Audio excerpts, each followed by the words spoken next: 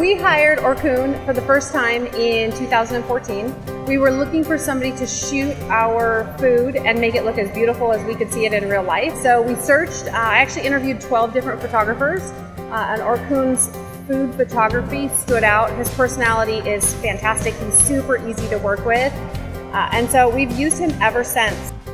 One of the things about Orkun that's good about his photography is the time he takes for every shot. So when I started working with him and we had a list of food to do, I thought maybe 30 minutes, food's ready, we go.